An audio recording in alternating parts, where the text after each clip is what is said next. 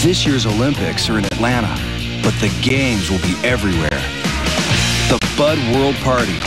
A great time to share a Bud with friends, no matter where you are. Budweiser, proud sponsor of the 96 Summer Games.